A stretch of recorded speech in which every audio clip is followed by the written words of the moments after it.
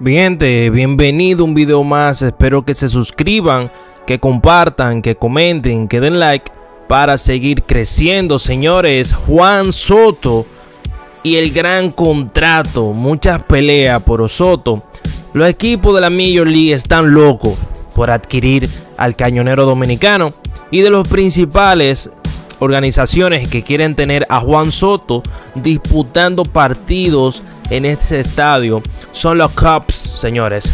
Los Chicago Cubs quieren tener a toda costa a Juan Soto y están dispuestos a sacrificar dinero, a sacrificar de su gran ganado en proyección a futura por tener un cañonero de la élite de Juan Soto. Y es que se acerca la temporada 2024 y con ella una de las incursiones que moverá el mercado de la agencia libre como nunca antes. Juan Soto, el pelotero dominicano, pieza de San Diego Padres, tendrá la oportunidad de negociar su futuro con los 30 equipos de la Major League Baseball.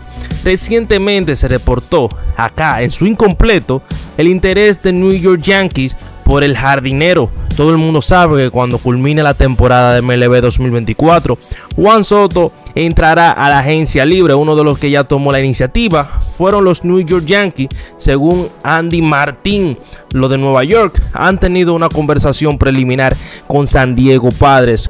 Cuando hablamos de un jugador que ya ha demostrado que está para grandes cosas, es normal seguir escuchando ofertas de otros equipos según un reporte de Athletic los cinco mejores organizaciones para el dominicano son los New York Yankees, los Boston, los Seattle, San Francisco Giants, Cleveland, los Guardianes y Chicago Cubs. ¿En qué posición está? Se informó que Chicago Cubs están involucrados, están en busca de Juan Soto. Se sabe que San Diego Padre busca reducir nómina para la temporada de MLB 2024 y la proyección de 33 millones de dólares para el dominicano no compagina mucho con la idea principal de la franquicia. Chicago Cubs hizo la cosa también en 2023 que superó las expectativas iniciales en lugar de vender masivamente donde nombres como Cody Ballinger, como Mark Strong estarían en la palestra pública se decidieron por incorporar fichas clave para encajar a la perfección en el equipo.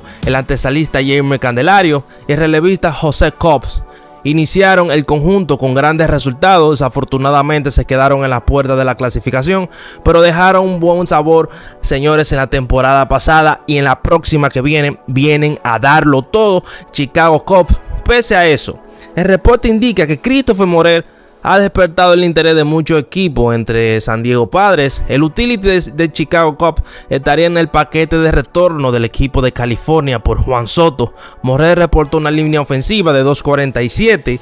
313, 508 con 26 honrones. Se desempeñó principalmente muy bien en la manera ofensiva. Christopher Morel también implementó varios récords con los Chicago Cubs semejándose prácticamente a lo que es Sammy Sosa con esa organización. Señores, díganme ustedes qué ustedes piensan de este cambio de Juan Soto hacia los Chicago Cubs por Christopher Morel y se rumora que una gran alta cantidad de dinero también. Pero antes de suscríbete, comparte, comenta, da like para seguir creciendo, bro.